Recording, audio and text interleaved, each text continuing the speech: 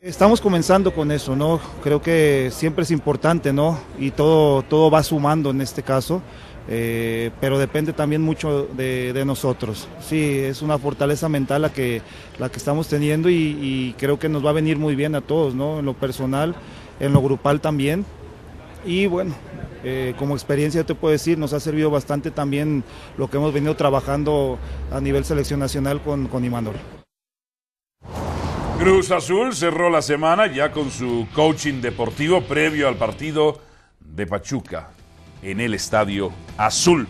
¿Podrá lograr Cruz Azul su primera victoria en casa tras esta semana del coaching ejecutivo? Lo del coaching tendría que haber llegado hace por lo menos 10 años. Sí, está bien. Es, y, lo sostuvimos hace 10 años, o cuando perdió contra América, o a inicios de este torneo. Esta semana, ¿les habrá funcionado de algo para que se vea reflejado contra Pachuca? Así como me han puesto el debate muy sencillo, aquí me la pregunta me la pones muy complicada. No confío en Cruz Azul ya. Me hiciste tú caer en lo mismo. Confía y confía y confía y confía en Cruz Azul. Yo te lo advertí, dije, hermano. Ahora sí, ahora sí, ahora sí, ahora sí, ahora sí. Y esa, hay, hay algunas que te doy. No todas te las. Esta sí. Me convenciste de que no se puede confiar en el Cruz Azul. O sea, no confío en el Cruz Azul. Pero no, aquí- no puedo decir que va a ganar. En mi quiniela que puse, empate. No sé si con el coaching, no sé si mañana salgan enchufados. Bueno, no sé que esto sería dramático para Cruz Azul. Y puede pasar. Ajá. Te la voy a poner. Imagínate que el Chaco hiciera gol. en el azul. Con el Pachuca. Un penal. Y que digan, lo tira el Chaco. ¿Le puede pasar todo a Cruz Azul? Claro. Sí, Le sí, puede sí. pasar todo a Cruz Azul. O sea, si Cruz Azul no quiere recibir gol de alguien, es el Chaco. Tú imagínate la afición de Cruz Azul. Chaco, Chaco. Me faltó el ritmo, me falló ahí. Chaco, Chaco. Sí, es un poco rítmico. No, no, soy bastante, por eso me llamó la atención. nunca has bailado salsa pero que me digas, ¿verdad? no, bailo muy bien, no, bailo muy bien. Pero que me digan que el Cruz Azul va a ganar mañana, no lo sé. en cuatro días de coaching o cinco, eh, creemos que realmente va a funcionar. Eso no es garantía. Igual puede tener los cuatro o cinco días y Cruz Azul puede terminar perdiendo o empatando. Y si ganas, tampoco le podemos dar crédito a que fue por el coaching. ¿Cuántas veces ha ido, has ido tú con el psicólogo y te necesitas sentar? ¿Cuántas sesiones? ¿Seis? ¿Diez para que empiece a funcionar? No te funciona la primera. Entonces, tampoco el que No, Cruz no, no, Azul- no sé por qué me puso, no, está poniendo de tampoco el que No, Cruz Azul no. gane Alguna vez sí, porque- no estoy en contra A de ver, eso. A ver, tampoco porque este el Cruz momento Azul no. gane significa porque el coaching funcionó. Yo conozco, yo conozco a Bernardo Angulo. ¿A quién? A Bernardo El Angulo, coach. el coach. Es un muy buen amigo mío. Eh, yo he tomado coaching. ¿Y te ha funcionado? Pues mira dónde estoy, papá. Mira dónde estoy. De hecho, el trabajo fue Bernardo, estratégico. Bernardo, qué malo eres, hijo, qué malo eres, Bernardo. No lo he tomado con él. Ah, No he tomado entonces sí eres él. bueno, Bernardo. Él me lo recomendó, pero bueno, un plan estratégico de tres años para acá. Y miren, ah, bueno, pero te voy a tres decir, años. soy una de las figuras de este canal. A ver, a ver. Sí, pero quien se atreva a decir a ver. que por el coaching de esta semana ganó el Cruz Azul. A eso voy, a eso voy, a eso voy. El coaching es bueno, como ir a un psicólogo también, pero es un proceso. Es de cambios muy pequeños, graduales, para conseguir objetivos grandes. Lo que consigan esta semana, mm, a ver, si se ve reflejado con- en el partido contra Pachuca, que bueno, yo lo dudaría. Sí, no. Yo lo dudaría. Tendría que pasar más por lo que deje de hacer Pachuca y por los aciertos que pudiera tener Cruz Azul, que no los ha tenido en el torneo. Pero Pachuca es muy bipolar. Pachuca Pero- puede presentarse mañana en el azul y dar un buen partido que dar el peor partido de la, de Sí, la también, temporada. también. Ahora, ha habido no partidos- O sea, si gana. Cruz Azul, no va a ser necesariamente atribuible Claro. a esta semana. Claro, y la otra es, a ver, sí es cierto, Cruz Azul en lo futbolístico ha quedado de ver, pero aún así, entre lo que ha quedado de ver, sí ha habido partidos que ha generado por lo menos dos, tres jugadas claras de gol que no las ha metido. guau. Si ahora. O sea, un no, equipo- no. un equipo, si no genera dos, pues es bien, fútbol. No, está bien, pero el problema pasa de que no las está metiendo. Si ahora. No, yo creo que- yo creo que genera tres, ya también menos. Si las dos o tres que genere las mete, entonces como el resultado. Cruz Azul, Cruz Saca Azul- como el resultado. Cruz Azul te, no jugaba mal, te generaba seis o siete, y Cruz Azul luego cinco, y luego, y ahora te genera dos. No, no, yo, Por eso, pero. yo creo que pasa no nada más por a ver, meterla con Cruz si te Azul, genera pasa por seis o siete y funcionamiento. falla las seis o siete, y acá ¿Cuántas- te genera ver, dos y te espérame, mete las el dos. último ¿no es partido de preferible? local, ¿cuál fue? ¿Contra Puebla? ¿Quién generó más? ¿Quién generó más? Mil veces Puebla. ¿A qué le llamas generación? Generar jugadas de peligro. O llegadas. Llegadas. O aproximaciones. A ver. Bueno. No te pregunto. gener- a ver, Caramba. es, es generación y aproximaciones Cruz Azul, llegadas Puebla. Llegadas Puebla. Ok. A ver, quiero que escuchen las siguientes declaraciones porque usted estaba invocando a Cristian El Chaco Jiménez, el último ídolo de esta época contemporánea de Cruz Azul. Habla previo al partido, en exclusiva con nuestra compañera Nelly Simón.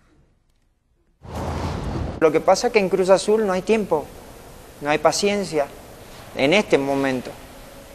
Y esa paciencia hace, eh, hace que cometas errores, hace que, que todo tenga que ser a- a ya, que no haya un tiempo de adaptación. Y, creo que si hay una buena planeación desde un principio y hay muchas cosas que van encaminadas, porque Cruz Azul también es, hay muchas cosas que nos hicieron bien, tampoco podemos esconder muchas cosas. Chaco, nueve minutos con Pachuca tampoco, ¿eh? Comparativa en los últimos dos torneos. Partidos jugados, mm, dos. Lleva 18 minutos en comparación con el torneo anterior a lo que llevaba esta fecha. 520 y no lleva ni un remate, ni siquiera al arco y ni El- siquiera el- un solo hay gol. tres palabras Las que 10 usa- Chaco, jugadas. el Chaco establece que en Cruz Azul no hay tiempo. A ver. No hay tiempo y no hay paciencia. No, no, no, a ver, pero permítame. ¿Él cuántos años duró en Cruz Azul? Tuvieron tiempo y paciencia. Corona, ¿desde cuándo llegó? Tiempo y paciencia. Sí. El Cata Domínguez, ¿desde cuándo está? Tiempo y paciencia. paciencia, sí. El tema de Jerry Flores, que fue, A ver, regresó y volvió. te Permíteme, entiendo, yo te deja termino. Tiempo Torrado. y paciencia. Torra- Entonces, no me puede decir el Chaco que por lo menos en el tema de los jugadores, la institución no tuvo con muchos de ellos tiempo y paciencia. De Y acuerdo. con los técnicos Tiempo y también. paciencia. Y con los Completamente de acuerdo. también. O sea, Utiliza tres palabras que son muy importantes. Planeación. Me encantó que dijera la planeación, pero ¿quién planea en Cruz Azul? El Yayo de la Torre. ¿No? Entonces ese O es un problema. planear. O Quintana Los que han planeado, momento. los que han planeado, porque son varios los que han planeado Benito. en Cruz Azul han planeado mal. Ese es el primer error. Planeación no existe. Nunca está bien planeado el inicio del torneo para Cruz Azul. Cuando no son los refuerzos que llegan tarde, son más los dos refuerzos que son contratados. O que llega antes el técnico que el director deportivo. Luego habla de paciencia. Lo comparto para que agrego más. Estoy de acuerdo con lo que dice ahí Dionisio. Paciencia ha habido mucha. Lo que pasa es que después de 20 años se va acabando, se va consumiendo. Porque estás hablando de un equipo importante. Hay equipos que no tienen la presión que tiene ver. Cruz Azul, la paciencia. Y la otra, errores. Habla de errores. ¿Cómo se han dado? El equipo que más errores comete A ver, en el fútbol mexicano se llama Cruz Azul. Cambios en la máquina, las alineaciones más usadas por Gemes y Caixinha. Con Gemes un 4-3-3, con Caixinha un 4-4-2, con las variaciones, por supuesto. El portero es el mismo. La defensa, a ver, Aldrete, Cata, el Avispa, el Flores. Es prácticamente, ahí hay dos cambios. Rocco, un cambio habría. Rocco, en el caso de Caixinha, en la media cancha, Peñalba, que ya no está. Silva y Vaca.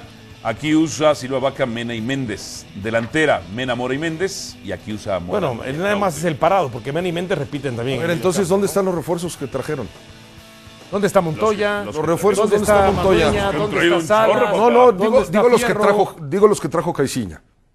Caixinha solo pidió a Montoya. A ver, Fierro, ¿dónde está? Ya no juega. Fierro no lo no, desconozco si él lo pidió. Ok, a ver, me refiero a los refuerzos que llegaron a Cruz Azul. creo que a él, a él se lo llevó. Pero a ver, Álvaro, me refiero a los refuerzos que llegaron a Cruz. Azul. Montoya sí. ¿Dónde anda Montoya? ¿Quién lo pidió? Montoya juega, no es muy bueno. ¿Juega? No de titular ya. Es que. No. ¿Quién es titular? ¿Dónde anda? Fierro? Es. ¿Dónde anda Fierro? Fierro empezó siendo titular. Ya no. Ok. ¿Dónde anda el Gullit? Lastimado. Pues ni llegó de ni Bueno, siquiera de entonces, titular. si hablas de tres refuerzos que llegaron a el Cruz Gullit, Azul, el, el Gullit lo pidió. Madueña y Salas, ¿dónde, ¿dónde están? están Madueña y Salas? O sea, si hablas empezaron siendo titulares. y Salas también siendo un buen futbolista. ¿Dónde, dónde demonios están los, los refuerzos de Cruz Azul? La planeación. ¿Dónde está? No, es que no hubo. No, porque no, Bueno, me pues ahí digas. está la respuesta. a ver, Cuando estamos respuesta de por qué no Hubo- camina Cruz hubo Azul. pues plan de está. contingencia. Ahí está. No plan a futuro. A ver, yo por eso, y a ver, sé que la paciencia en Cruz Azul es algo que ni debería de existir, pero en fin, existe. Yo sostenía, déjenle armar este equipo a Caixinha en el verano con el mercado grande. Y tiene que ser campeón en diciembre de este año.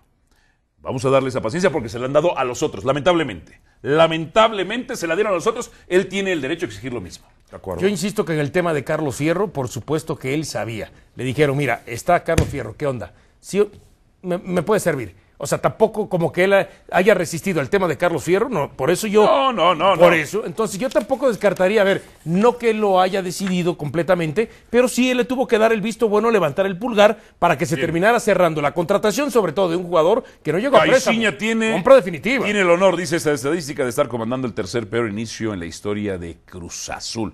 El peor fue en 2004, siete puntos tras Ahora. 10 fechas con Luis Fernando Tena. Y luego saldría. Yo lo que digo es dónde están hoy las palabras de Caixinha que decía Paco Gémez hizo un trabajo, dejó una gran base en Cruz Azul. Casi la misma alineación y mira cómo. Rusia a la vista para Rafa Márquez. Ah, de verdad. ¿Y quién se hundirá más? Romano, Memo,